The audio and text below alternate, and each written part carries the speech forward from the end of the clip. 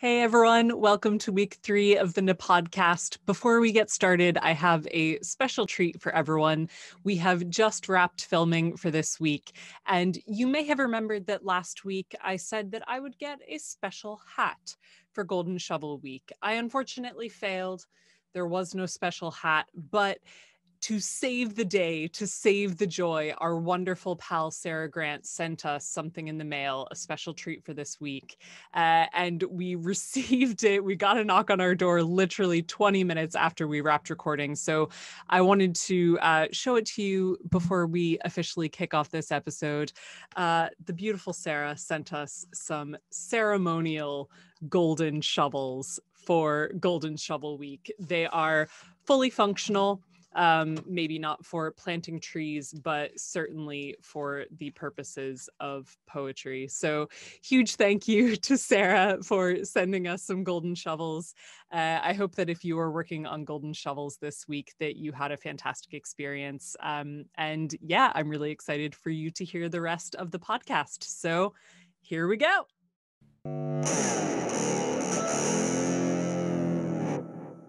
Hello, hello, hello, and welcome to week three of the Podcast, our special NaPoWriMo themed loudcast segment of joy. I am joined this week by the swell and groovy Mr. Mark Galley. Ooh, well, like. I am Hello. joined by the fabulous, ethereal, and kick ass Beck Sherwood. Oh, I thought you were talking about Kev then. I am also joined by the fabulous, ethereal, and kick ass Kevin McLean. Everyone give a big round of applause wherever you are at home, in the park, walking your dog. No, hold on. I want a unique groceries. introduction. That's bang out of order. They both got lovely compliments, and I got Bexy's cast offs. That's not fair. I mean, I was gonna The call you a beautiful Kev. little pumpkin of joy, but you know, usually we save that for home. So No. Welcome oh. to the Loudcast. So, this week we have been working on our golden shovels. What is a golden shovel, you ask? We'll get to that. So, it's poetry.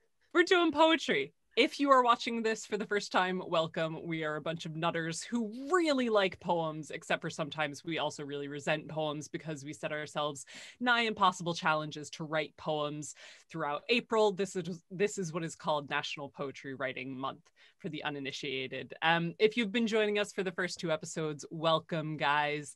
Uh, we were writing concrete poetry before. It's Golden Shovel Week. We've still got three more forms to go. What have we done to ourselves? Uh, but yeah, I'm really, really looking forward to what everyone has to share this week. Uh, we're going to be sharing a bunch of new poems. We're going to be sharing poems from some people in the community who have been sharing their poems with us, which is super exciting. Uh, so yeah, let's kick off. Um, everyone, how how have you been feeling? How's the writing going? General mood. Bex, you you doing okay? It's been. I I came in very confident, as you all saw. Uh, this week has been particularly challenging. Uh, I did forget how life happens sometimes and affects things that you do. Rude. So weird. Um, so yeah, I'm very glad to be done with the golden shovel. I really enjoyed writing the one I shared last week, but I really hated writing this one. Yeah, you did make it harder on yourself by writing two. Yeah. Uh, yes, yes. Yeah, of course, of course. It, that, that's actually surprisingly relevant to what I've written in my poem, Ooh. so we'll get to it. It's mm. fine. All right, I'm very excited. I I have not heard most of these pieces yet, so yeah, super psyched. Mark, how you feeling? I saw a little bit of existential angst earlier. You are you hanging in? So my experience with NaPoWriMo this year has been an awful lot like for anyone that you guys familiar with Takeshi's Castle, the old game show. So for anyone that was, so there was the, the first the first event of Takeshi's Castle where you've all got to run and just make it through a bunch of doors, and some of them are real and some of them are fake. I started NaPoWriMo with all the confidence of the leader of the pack, only to slam straight into a real door. If that ain't a metaphor for the creative go. life. There you go. Wow. Kev, are you uh, are you doing any better? Uh, it was it was a week of two halves for me. Um, so like I like Bex. I, this is It's because of lockdown. I hate lockdown. Uh, so like last year when we were doing NaPoWriMo, if you're if you're a long time follower of Loud Poets and I am loud, uh, you might remember that I had a bit of a mare in the mid of NaPoWriMo where my teeth decided to kill me and uh, it was difficult to continue writing. So I'm very pleased that we're doing uh, like a week long NaPoWriMo because it's been lockdown and dentists will not help me. So I'm still in the same spot. And I had a, a huge like tooth issue this week and I was boom out of commission for days. Um, and I sat and read a lot and thought a lot about what I wanted to do as my golden shovel. And then by the time like my teeth calmed down a bit and I was feeling a bit better, um, like I managed to to get some writing done. So yeah, if, if this was daily, I would have been um, coming here with a lot of excuses and sadness and uh, getting ridiculed by you all. But because it's weekly, I actually managed to, to get something. So week two halves, I've come out positive, but there was a big chunk of crippling pain in the middle.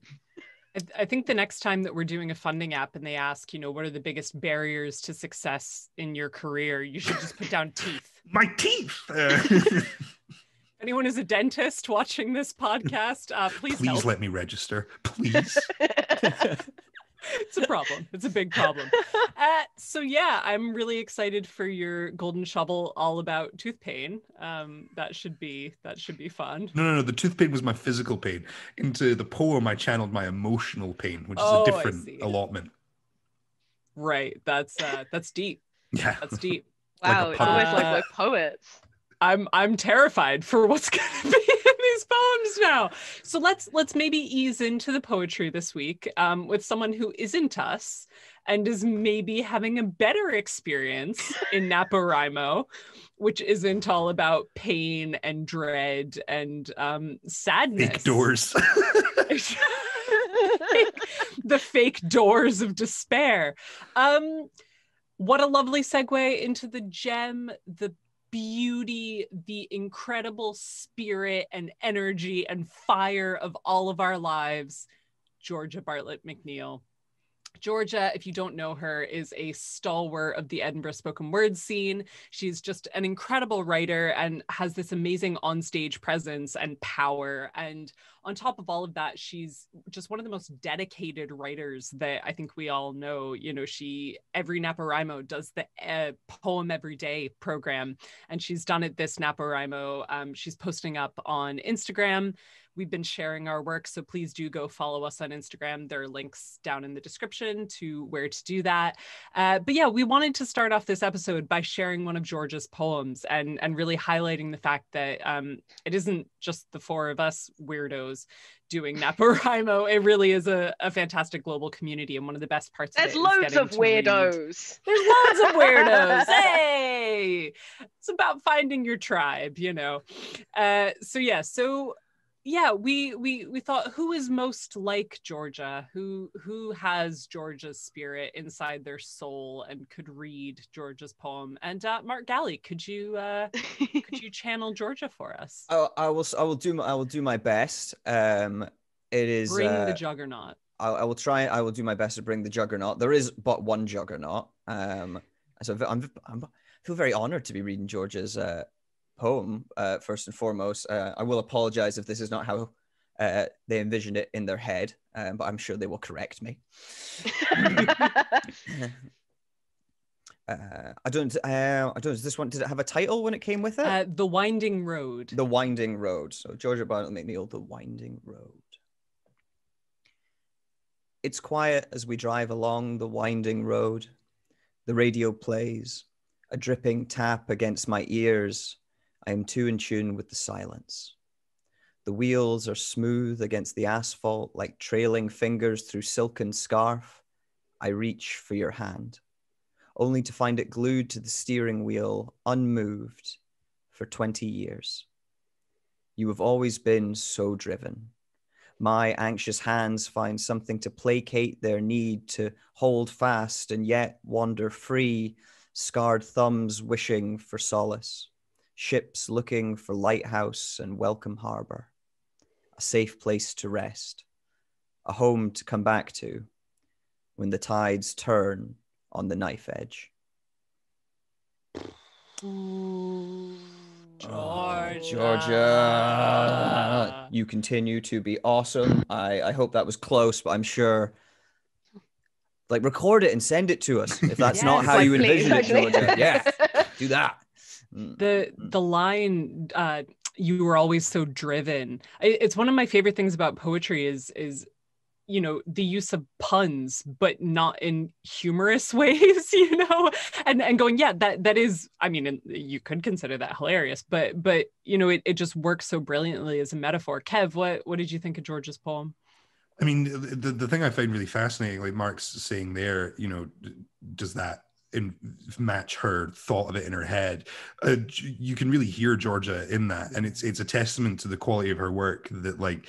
When I, when I put stuff on the page, people could read it in an incoherent manner from, from what I've intended, right? It wouldn't sound like me at all. But Georgia is such a disciplined writer as well as such a consummate performance poet that she she always blends those two so nicely that it is simple for someone to pick up her kind of work and and, and capture that sound. I think Georgia is someone that writes beautifully about small moments. Mhm. Like it's always the things that stand out to me in Georgia's work, and that that idea of like uh, a driving wheel, twenty you know hands on the twenty years and stuff is just like it's those tiny moments of. It makes me terrified to be in Georgia's head and how she sees the world because it- it's always these quiet moments of consideration where you can see her in the space. Like you can see Georgia sitting in that car and considering those things and and and taking that situation on board. And it just yeah, she's a very thoughtful and um, warmth, a lot of warmth in Georgia's work. Yeah. Oh, well, we miss you, Georgia. We love you. And thank you for sharing your work with us. Um, and please, everyone else, if you are writing for NaPoWriMo, whether you're doing our form based program or if you're doing writing every day, or heck, if it's April and you wrote a poem, please do share it with us. Um, it's our favorite part of this month is getting to read everyone's work. And I think, particularly, you know, after a year of lockdown and it can be pretty stifling and pretty isolating. So um, it's really, really wonderful to be reminded of all of the brilliant creativity out there. Um, so yeah, so let's do more How can people y'all. send them to us, Katie? If only we had an email address of some description. Oh, If if only. only. What a pity. Uh, yes, you can find um, our email, our contact on our website, uh, which is iamloud.co. It's just hello at iamloud.co. Please email us uh, lovely things. Um, don't email us things that aren't lovely. Why would you put it in people's heads? Why? Why? Why indeed? Why indeed?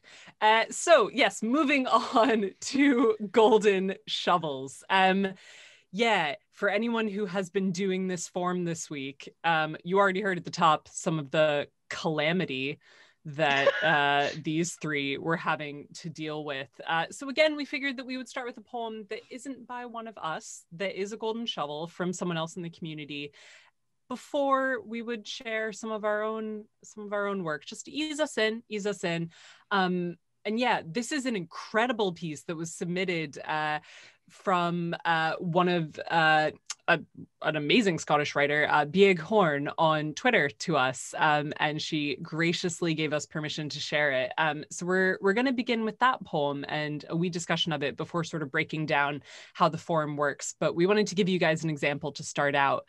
Um, so Bex, would you mind reading out Beag's poem? Yeah, absolutely. Um, so we have this golden shovel here. I don't know. I think the source was Evergreen by. Do you remember? It's Barbra Streisand. Oh, is it? Amazing. Yeah. Uh, so, Big, let's go. Let's do this. I'm sorry if we pronounced your name wrong. Right. Maybe I do not want to talk about my love or tell you how soft is the skin of his inner arm, soft as silky sheets wrapped around an inseparable pair of lovers. No. It would be too easy to tell you what went on that night on the chair next to the uncurtained window and how love slowly rose in us and whipped itself up to a fresh strawberry milkshake, leaving a telltale moustache as a souvenir. So do not ask me about the way he likes to kiss my forehead in the morning. Some things are better left breathless and silent on the air. Wow. wow. It's so nice. It's so nice. I feel weird reading it because it's so nice. what a gorgeous piece though what a it's interesting as well reading that after georgia's and how they both use the the texture of silk um it, it's quite funny how the the sort of imagery of those poems rhymes with each other as totally disconnected as they are mark what did you think of of Beag's poem Oh, I I really really liked it. It emphasized something that I realized what wouldn't have actually helped me, but I hadn't thought about using like a like a song or something that wasn't a poem Mm. for the for the start. Um, so that's that's both frustrating that I didn't think of that. Um, and I also it's it, it's one of those it's I really I, I really love sort of like obviously the the way it's written. I think after doing this, it's even more impressive doing to those formats. I wish we had waited to do that until after at least mine, so it wouldn't have to follow it. Um, But yeah, I, a, a, a, a truly beautiful, beautiful piece, and one that makes me, yeah, a little bit, a little bit jealous and annoyed in the best way. I think you can see. Uh, so I, I don't know a Mm. huge amount about uh, Beag's back background, but like you can see the quality in her writing. And Golden Shovel, I think, leans into poets who are good structural writers. You can see she has a real good understanding of like enjambment and and like the flow of her punctuation and stuff like through it to to assist the shovel rather than to force it you know i mean there's a couple lines there where where it does drop but it feels much smoother than i have done so you can see the you can see the the quality on the page which is cool I think that's what mm. annoyed me a bit more. Like, that, not annoyed me in the actual way, and that, that it feels so smooth and it's so like Yeah. it flows so nicely. And I think because that's one of the biggest problems I had. That emphasizes that maybe they had that problem as well, but it hasn't ended with that. but i wonder if it's because performance poets like i know I think Galley and I, weirdly, because I think Bex would probably be considered the most performancey, but Bex's writing style's changed a lot since people saw her live. And I think Bex has become much more interested in form and structure and like page esque poetry, if that's still a thing. Um, but like I think Mark and I, we're very rooted when it comes to our writing in like flow. Like I want everything to sound a certain way. And so then when I hit a line and I'm like, well, that's not the rhyme I want, I would normally change the word and you can't. Whereas you can see in that kind of like more page poetry style that it's someone going, oh no, this is fine. I know how to use the system and change the line and stuff that I, yeah, I, I we don't have, but I know this is gonna sound really crazy, but I find it quite hard to like end poems. So I get really envious if like the final line has like that satisfying after, you know, that little like moment afterwards where the poet end, the poem ends, and everyone just goes, hmm, just like like you've satisfied or you're sated after eating food or something. It's just that same feeling. Um, yeah, I don't know. There- It's very nice. There was um I I was performing at Boomerang Club last night and shout out to the guys at Boomerang um for just putting on amazing events and and being part of a, a great community. But um PJ the repeat beat poet who we uh absolutely love to bits we've featured on the Loudcast. I will put a link to his episode below. It's brilliant. Um but he described that that sound of appreciation as like a cow mooing after a delicious meal and it's like such a horrible but apt image. The poetry mm, always comes back to cows. I was Everything just comes it all comes back to cows. So yeah let's talk golden shovels because we, we've already started briefly talking about them a little bit but we, in case you haven't heard of them uh, we should explain more fully what they are. So uh, yeah a golden shovel do, does anyone kev do you want to do you want to give us the the definition here Sure, no problem. Written one, know all about it. Uh, basically, you have to choose a source text, uh, and each word of that source text becomes the end word of a line of a new poem. Um, yeah, that's pretty basic. Yeah. That's- That's correct. That is a a a star golden shoveling. Um so so yeah, I I very we already specifically used the term text as well because it's it's Galley that's behind the curve here. yeah, yeah, that's that's me. That's me. yeah. It wouldn't have helped. I will explain why it wouldn't have helped later on. But, right? Well, well, Mark, because because you were scared of following um yeah, of- going first here, do you want to yeah, Go say a little bit more about about that text uh, but- but- that but you've my- chosen? About my golden shovel, yeah, no, Yeah. that's that's probably fair. I think it's good to probably start with this one. And I know I'm I do start. I'm normally quite down on my poems, but um, this one had sort of like particular challenges and stuff for me. So I guess that so the I'll explain the so the reason that realizing a song I changing the um you know it could have been a song or it could have been something else wouldn't have Mm-hmm. helped is because I pay, I made potentially the mistake of I picked my source poem right from the start and went that's what I'm going to use. And that's where I was like that was like the one thing I was really rigid with. Hmm. Um, and so the poem I, I've used is it's my favorite poem. This is why I was so rigid on it. Um, is Josh Overton's Halfway Man, which I thought when I was, you know, when we were doing Return to Form season one, and sort of I learned was learning more about that form.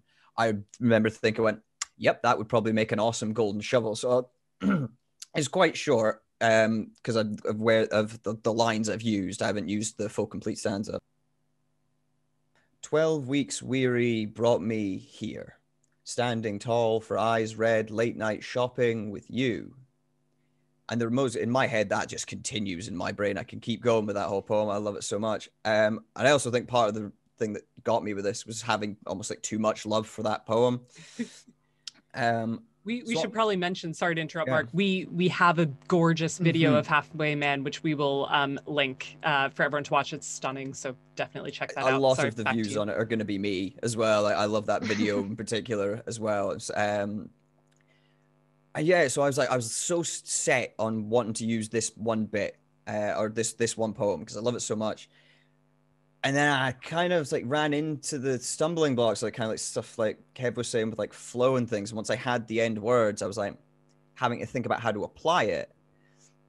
And I so I watched the workshop uh, by by Dr. Katie Ailes and was trying to think about the source, you know, like through the source poem and how to interact with it.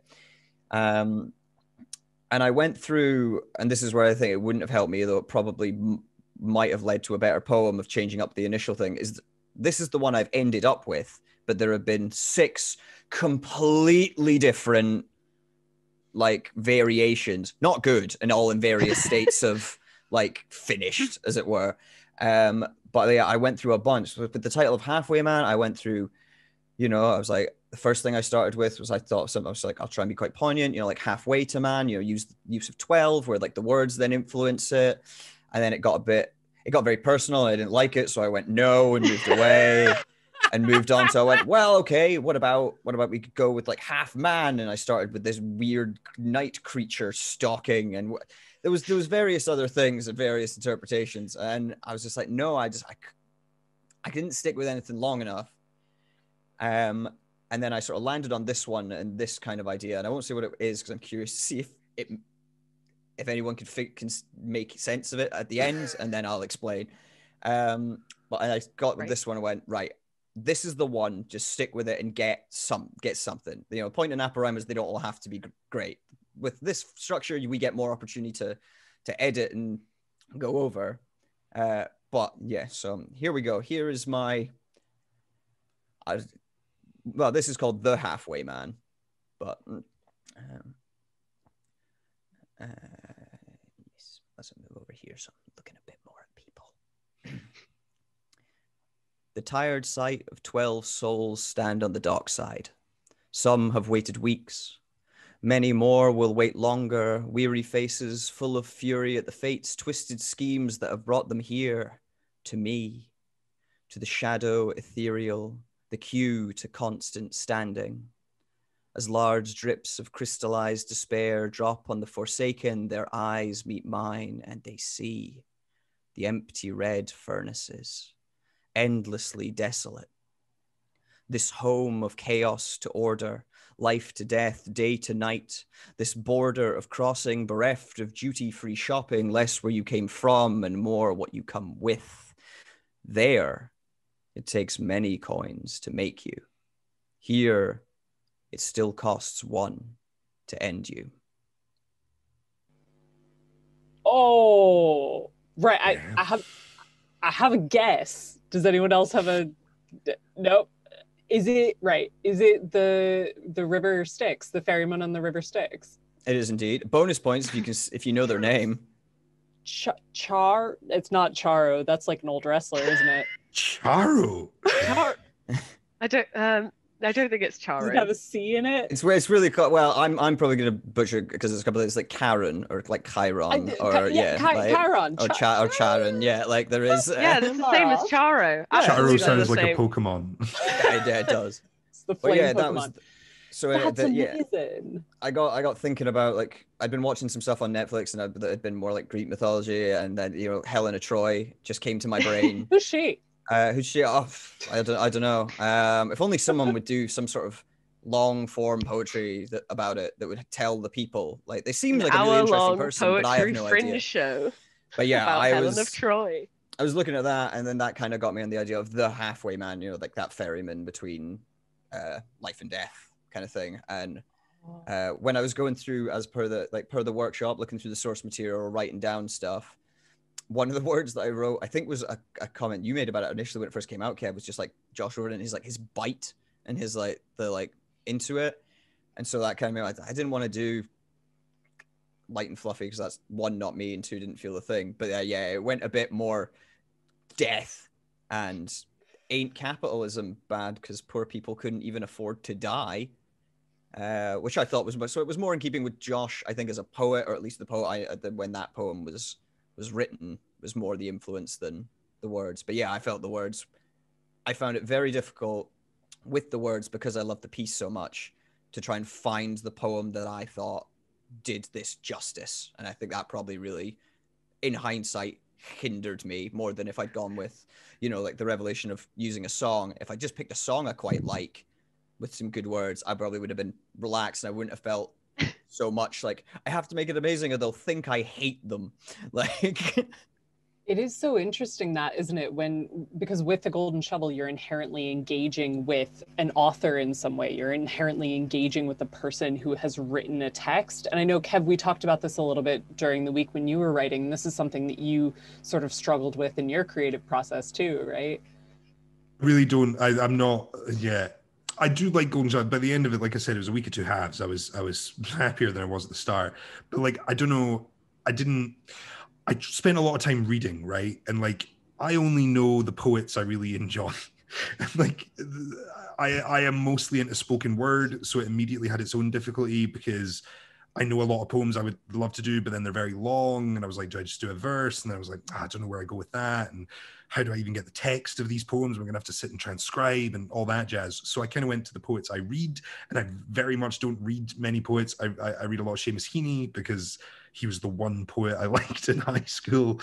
Um, and then weirdly, I read a lot of like sort of black the harlem renaissance poets you know black civil rights kind of poets folks like that so like i i, I really enjoy the poetry of people like maya angelou and like langston hughes and I, I read a lot of gwendolyn brooks because you know golden shovel and all that um and so like i was going to do a langston hughes poem um that's co- yeah, called dreams uh or dream there's dream dust and there's dream i can't remember but, but like i was i was maybe going to do that and then I just was like, but I don't disagree. like I don't want to say anything about his poem. Like it's not it's not a conversation. Poetry is a presentation of thought. And it's not even necessarily like what you think or the entirety of you think, or you know what I mean? Because I guess with Golden Shovel, it doesn't need to be antagonistic, right? It doesn't need to be like a I disagree. Mm. Maybe it's a elaboration or an expansion. And it just every time I did it, I was like, I don't I just have nothing to say about this poem other than I like this poem and it kind of it Mhm. grated with me a bit and so that's why i was like i i, I kind of had to switch it up and it was advice from yourself katie that was like well look at something else. And as soon as i took an author out of it as soon as i didn't feel i was having like a conversation i felt much better. Um yeah so I, I ended up picking a piece of text that i don't like very much um, and that also made it easier and because there's no author i could kind of say what i wanted about it and, and kind of go a bit more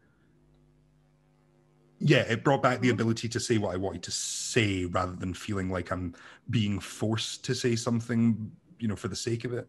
Mm, right. Before we dive into your piece, uh, yeah, Bex, did you have anything that you wanted to to say on Mark's? Because I know we were chatting a little bit before about Yeah. how took a very different approach to picking your source text. Yeah, I think the source text was quite a difficult, like, it's a difficult thing to select. And um, obviously, with Mark, he chose like one of his favorite poems, if not his favorite poem of all time. And this is what Kev was saying as well. When you have a piece that you love so much, you really just want to see those words together. But with a golden shovel, you have to like split them really far apart.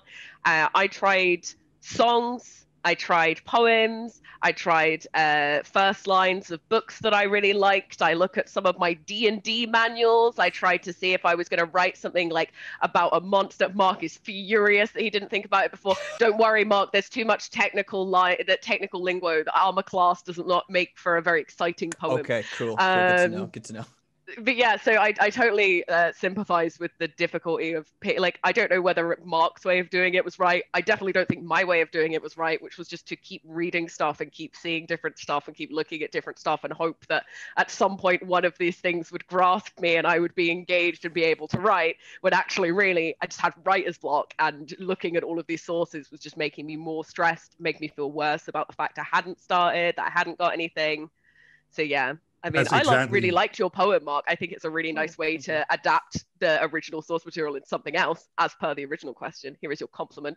Oh, You're thank welcome. you. Um, but yes, Kev. Anyway, continue. Yeah, You're bang on, Bex. It's it's so correct because I, once I figured out that like this wasn't working for me, like picking a poem wasn't working, and I did it the way I normally do a poem, which is I had an idea for something I wanted to say on something I was thinking, and then I found a piece to fit it rather than the other way around. And I just don't think I'd really considered that for the shovel. So like, I do get your, I get the pressure mark, but I think you've Mm. absolutely lived up to it. Like, I, I- and I think you've done the best tactic that I could think of doing when I was looking at doing a poem I really liked, which was make it thematically tied right? Like like that that thing of like you said class and you know there's there's the underlying tones of halfway man but it's not a reply. It's not a critique. It's not a response. It's its own thing based off kind of like ideas. And I, I think that's the safest way to go. Really really good.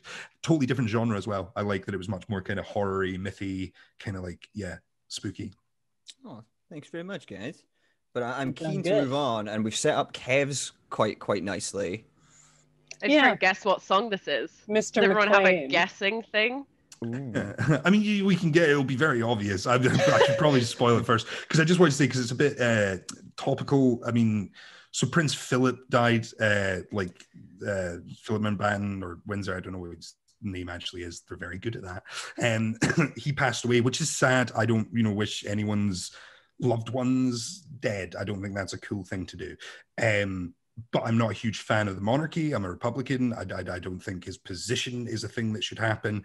And I think the, and I, I had a lot of feelings about like the sort of enforced mourning uh, that, that we have and like what that is for and what that does. And it is a thing that is for a purpose, is to make us feel a connection and stuff the same way they don't have second names. So we have to use their titles regardless of if you're, you know, a Republican or not. Like it, all those sort of things were kind of going in my head while seeing the news about, you know, this man that passed away uh, and also kind of the that you know we're all feeling it like lockdown has been so intense and so many people have lost so much not just loved ones but time and opportunity and you know education and all these things to be so sad for a man who lived a hugely privileged and incredibly long life. Like sad for his family but not necessarily sad for a country.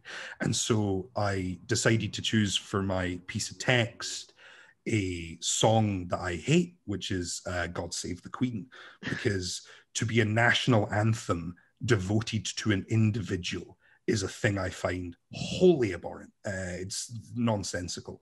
Um, so this is uh, my poem, God Save the Queen.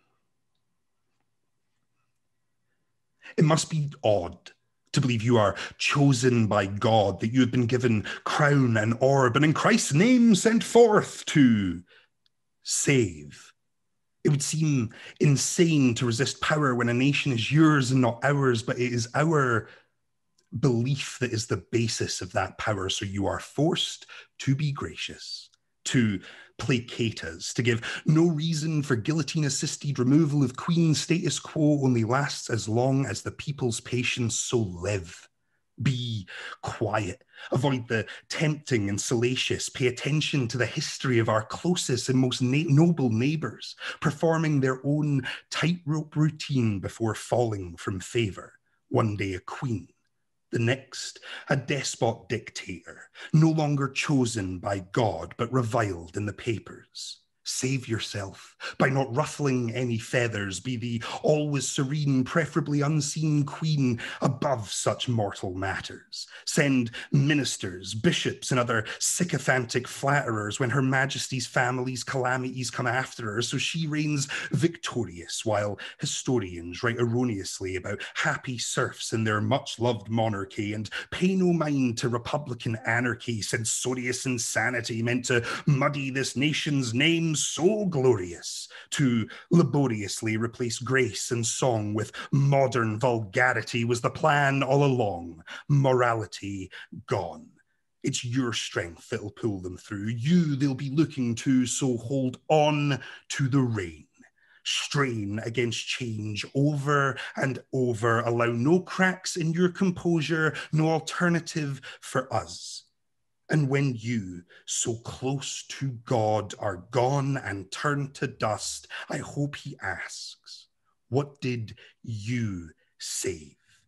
Your gormless gaze and startled silence, so obscene, the only fitting end for our gracious, noble queen. Oh my god! Aim! That's the song for the revolution. I fucking love it. Sorry, swearing. I'm so excited. Oh, good, because I had one. Fuck you, Kev. So, like, just to reiterate, nothing against individuals. I hold no No. ill will to to a wee old lady who has lived her life, but like the monarchy is a ridiculous thing, in my opinion. In my opinion, if you yeah, have a different absolutely. one, go I- write I your think- pro, you know, whatever poem. But uh, for me, nah. I, I think one of the most interesting things about it, and, and we spent a little bit of time talking about this over the week um, when I was writing my Golden Shovel as well, is all of the different possibilities for what you can do with the form, right? So, um, what Mark has done is taken a poem that he loves and has, you know, twisted it, has, uh, you know, set it in a different context, has used Greek mythology. Um, what Kev has done here is taken a song that he hates and rebutted it and and you know added this um not even added context but added perspective right? And and that's sort of a similar thing to what I did in in my golden shovel earlier this week where I took a Percy Shelley poem was like you're not nice to women and i'm going to call you out on it. Um, so so it's really interesting to me this notion of the golden shovel as praise as expansion but also as shifting of perspective and maybe as rebuttal and criticism. Um, yeah bex I'm, I'm curious your your reaction it, it was funny watching your face during the poem and you just started really going off at a certain point yeah could you yeah what did you Yeah, well, one of the things I really love in terms of like music in general is I really love rap music, even though I'm very white, I understand. But I really like because I like words. I like assonance and rhythm and other things that are word related. I'm a poet. Um, but I really like like the rhythm that Kev always gets and like the use of certain words that you would only really expect to be used by that upper class toffee whatever kind of example in a way kind of taken ownership of those words to reinvent the statement. Yeah, that was not very profound. No, no, no. But it, it's that twisting of vocabulary. It's it's reclaiming vocabulary. Um, yeah, because Kev, I know like there there were so many repeated words throughout that. You know, God save the Queen, God save our gracious Queen. You know, how many times does God and Queen appear? And so was that sort of a challenge for you in going through it and trying to figure out how to use those repeating words? Dude, totally. Uh, like, I mean, rhyming dictionaries are your friend. Uh, you know what I mean? Like, it's. I don't think it's bad to like. Not everyone has a limitless vocabulary stored in their head and a brain like Will Name's that can, you know, find those rhyming phrases immediately. Like, I just it doesn't exist for me. So, like, I used a lot of rhyming dictionary, and like, I wanted to deliberately use um a vocabulary for for certain bits like i use uh, erroneously uh laboriously and stuff like that. i want you to, to use words that are smart refined you know like big words like, that i don't use in my my Big normal um conversation because i want you to like i want you to be like this is one thing I think I do quite nicely in that poem is I think I, sh- I show without going, and now it's them saying a bit. I switch from me speaking to kind of their inner monologue and back.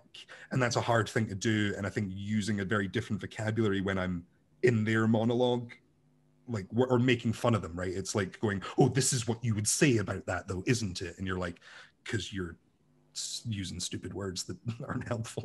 Yeah.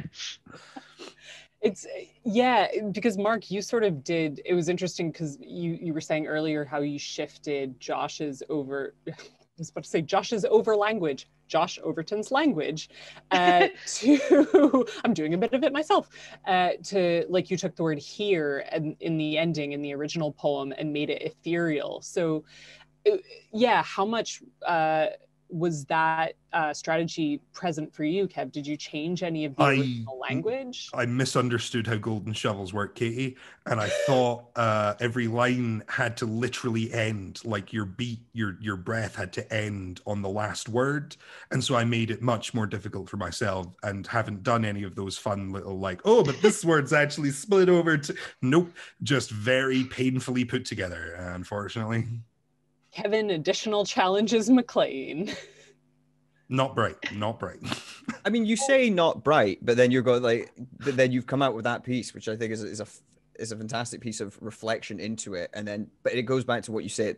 You were sort of saying about your strategy for coming up with it. Is you had an idea about what you wanted to do, and you made the like, you used you used the restriction to your advantage Yeah. rather than like kind of what I ended up doing. The mistake I made up doing was that became my disadvantage. You went, you had an idea and used, found the perfect piece to go with it.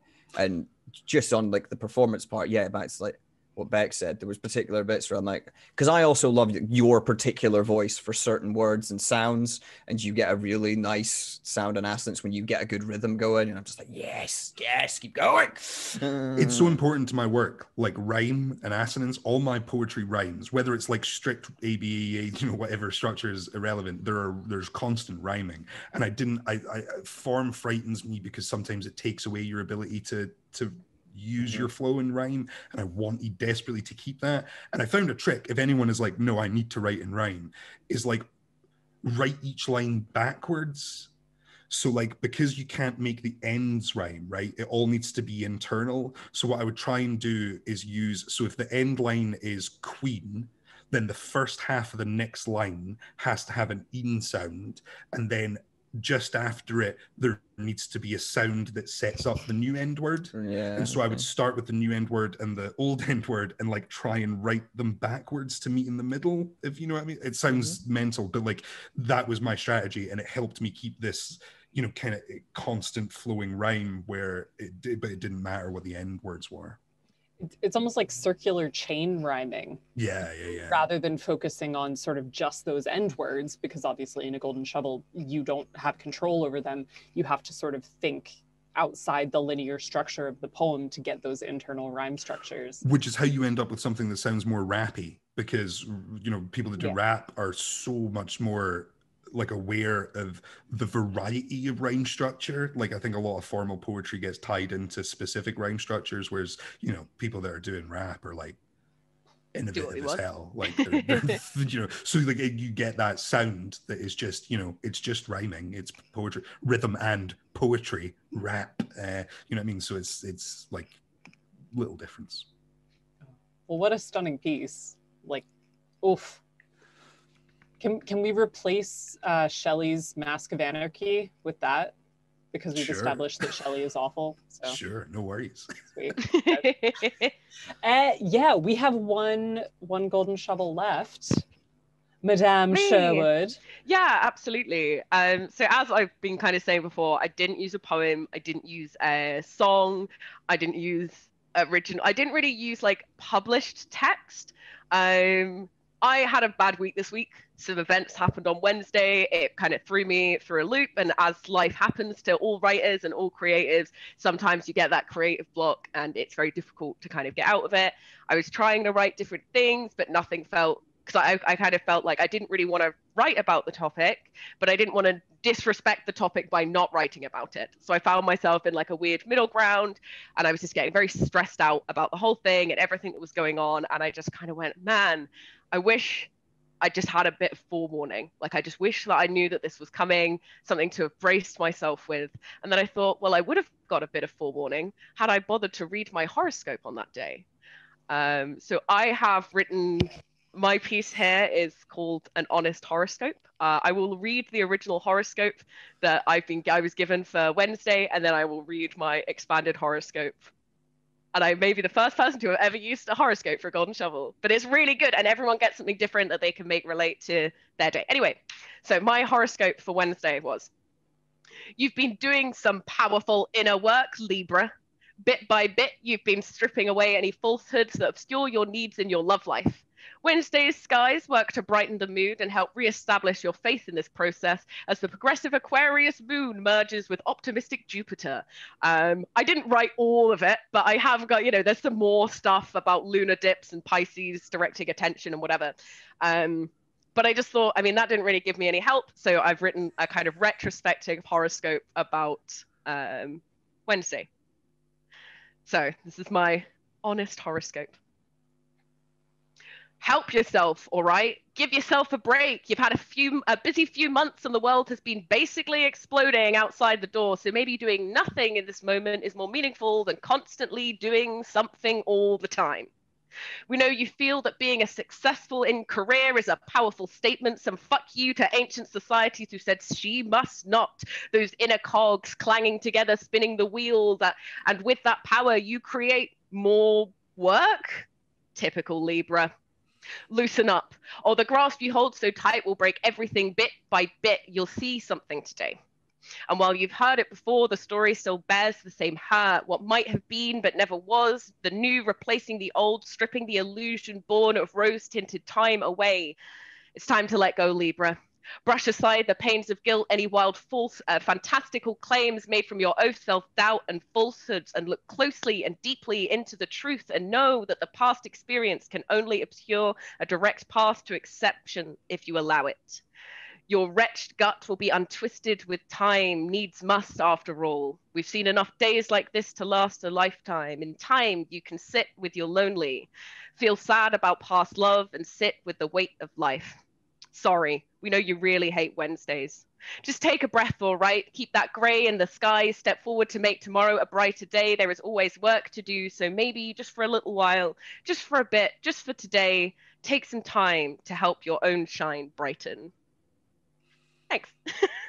Oh. Wow, wow. X.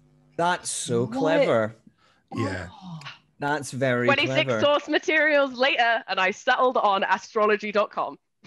But that's such a int- like, that is James is such an interesting and creative thought. Like, on- like I didn't think of anything outside of the poem. So like obviously my expansion wasn't, but even within that, like uh, with the sort of the revelation of going through it, going like, and weirdly, it's it seems like such a perfect fit for that as well because it's like I'm so I'm I'm obviously sorry to hear about the circumstances surrounding it. Yeah, that- of course. but it's a very art- creative and artist- uh, artistic way to use it around. I'm just like, I was always told horoscopes are right if you read between the lines, so I just added loads of lines. I was going to say there's a thing to that as well. Is that it's that's your inter- the interpretation of the horoscope is always then you know the Yeah. broad thing around it. Very when you're talking about more helpful horoscopes, a blank page would have been more helpful then. But uh, I think I think like th- it's such a good because that idea, like you sum it up so well, right? In terms of going, like fit it to your theme. Like, what's the thing you're thinking? I wish I could see into the future. So take a thing that says it can do that for you, but you know it can't. But that doesn't Yeah. take the want away, so you fix it. That's like it. Yeah, that, that's so thematically nice. And Yeah. then on top of it, the writing is spectacular. Bex, like I, I just your ability to write so conversationally and make it feel so like naturally spoken while like underneath it is so honed and particular and specific is is something that i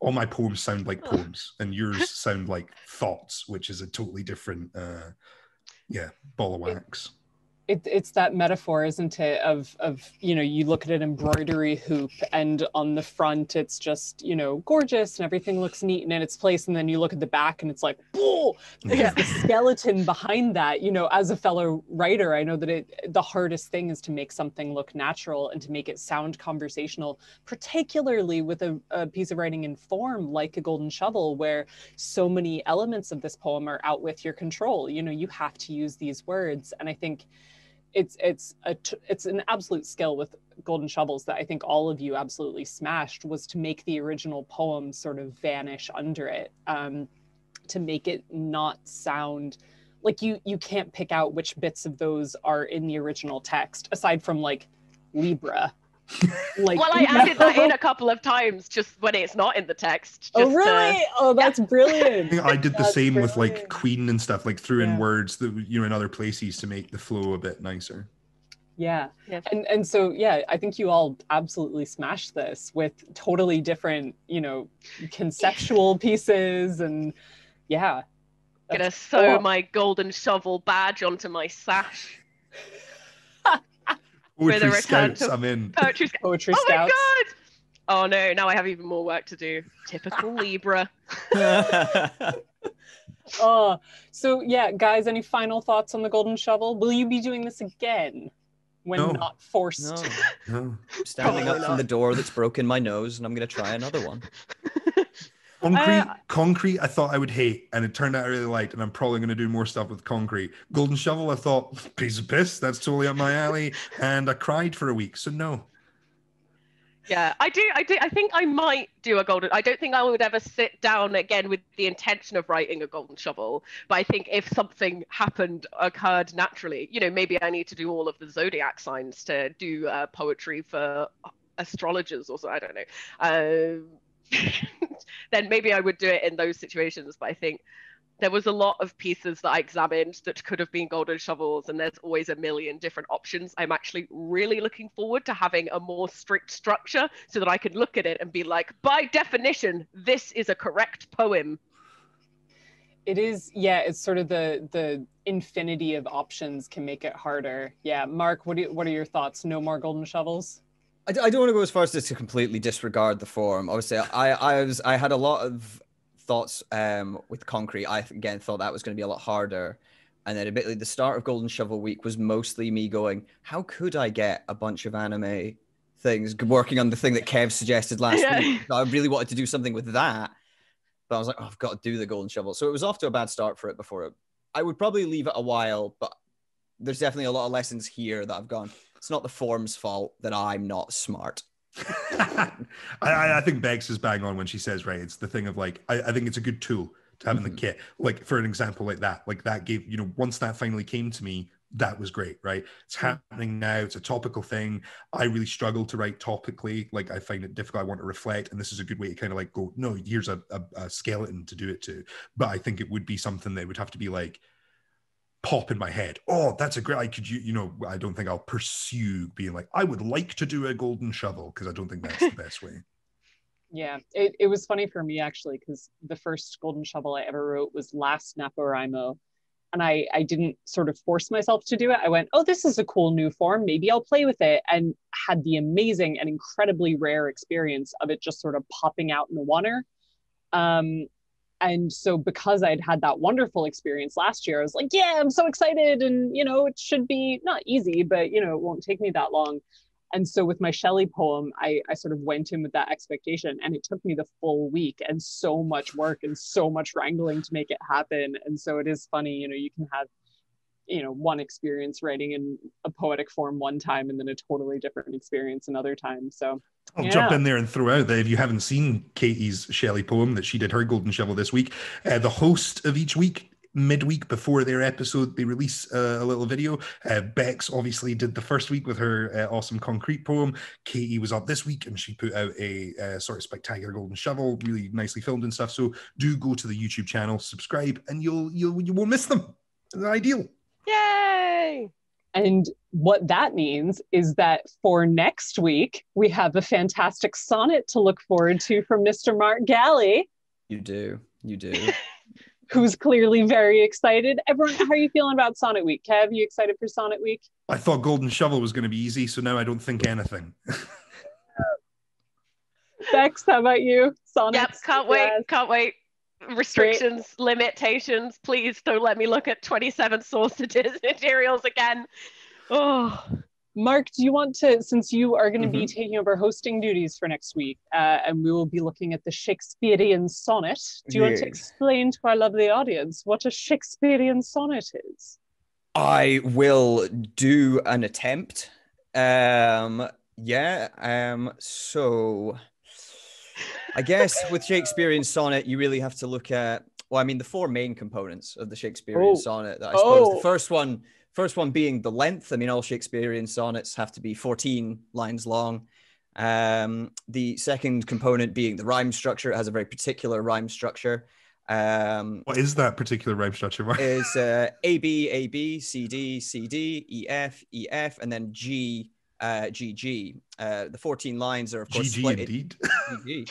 The four lines split into four quatrains, I believe is the term, and then finishes with a final couplet. Three Um, quatrains, one final Is it a couplet. qua- quatrain? damn. I knew I, th- thought I was going to get that wrong. But so those are the two uh, two main elements. It's quite nice that you can break them down. The third and the one I think I'm probably going to struggle with the most, uh, being the the meter. They it has to be in iambic pentameter. Um, which I think we're going to get a good example of later on. My notes for iambic pentameter just go da da da da etc. What Uh, the fuck is a quatrain? four four so it's It's a- it's it three says- so it's like three stanzas of four lines long and then uh two lines at the end So like four eight 12 and then the final bringing you to the 14 um and then i believe the fourth component although this is the probably more open to artistic interpretations that the typically they will end that last couplet will end with what is known as a volta or a you know sort of a twist or a shift in in whatever you're doing. I believe I believe it was Dr. Katie Ailes that said if you were describing your sonnet about a battle, for example, the the last uh, section, your volta, may be then be that the battle ends and there is peace. Um, so I mean, I'm it's so I'm so proud of you. I'm uh, so scared. I don't know if that you know I don't know if that helps anyone. I'm Katie, so is that accurate? Is that close? Is That a that was beautiful. If I could give you an honorary doctorate, I would. Um, that was well well done. That that's literally it. Yeah, those are the four Mm. components of the Shakespearean sonnet. Yep.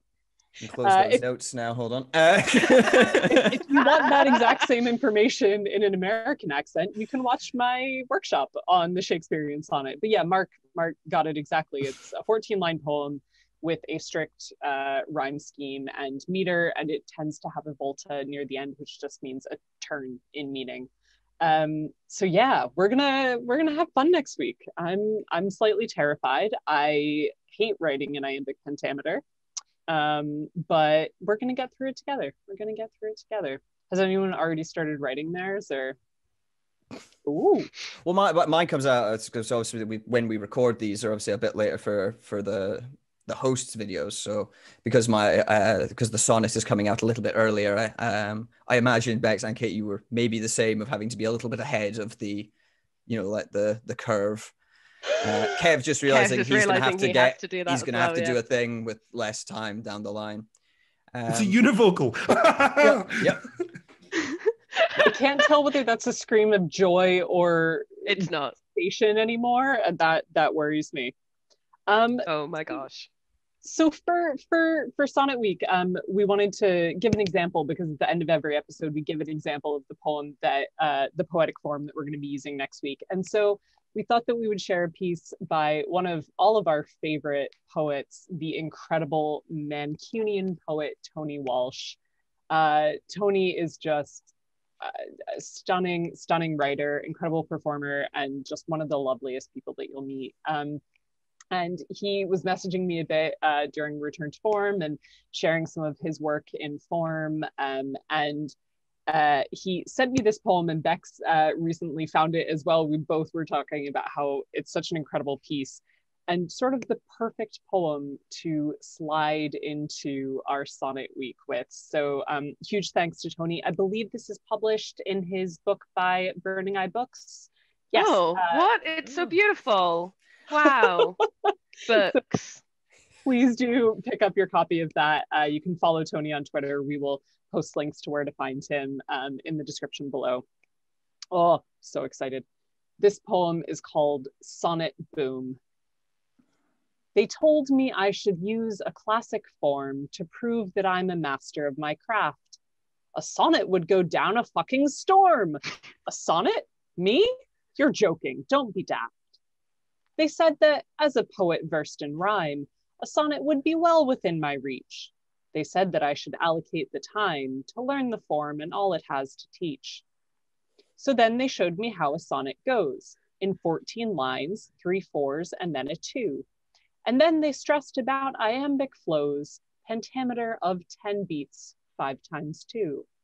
They said the final twist is sure to come. Dee dum, dee dum, dee dum, dee dum, dee dum. Yeah. I love it so Oh, much. yep. That is Tony, thank example. you. What a poem. Um, so yeah, if you're curious how to write a sonnet, um, read that poem. or do our workshop that we have available on our YouTube channel. Follow us on social media and get all of the tips that I've been making and Katie's doing and all of those things. You know, sorry, I just jumped in and you plugs there. Uh, that about sums it up. Yeah. Uh, so as we as we wrap up this episode, um, thank you all so much for watching. If you've made it all the way through this episode with all of the Greek allusions and uh, patriotic love of nation, I, I was trying to twist that and make it a thing about how your Nope. poem is patriotic because it's actually about democracy, but I failed. Patriotism's stupid. Why would you be patriotic? Uh, Nonsense. Okay, goodbye. this episode with the Greek illusions and Kev being a staunch Republican and Bex taking horoscopes to a whole new level. Um, thank you so much, guys. We genuinely really appreciate everyone taking part in this month. Um, please, as I was saying earlier, do share your work with us. Join in this fantastic community of writers. If you are writing this month, please tag us in it. We would love to share it on socials and maybe even in an upcoming episode of the Na podcast. Uh, doesn't matter what kind of form you're writing. Uh, we just we just love poems, y'all. We just love poems.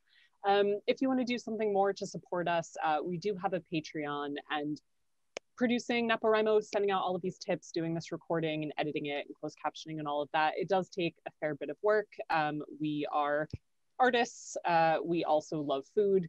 So if you want to support the work that we do within the Scottish spoken word scene and um, sort of film and production scene more broadly, um, it would be incredible if you dropped some money in the Patreon uh, pledge to support us, and then that allows us to keep doing what we do. Plus, you get some awesome stuff out of it. So definitely worth your while.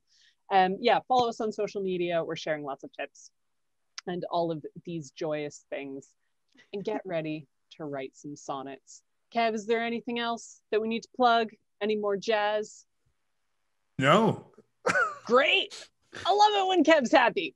All right, guys. Are we ready to say our goodbye? I'm going to do a countdown. I, I think so. Yeah. Guys, we will see you next week. Thank you for joining in the podcast. Three, two, one. Goodbye. Bye.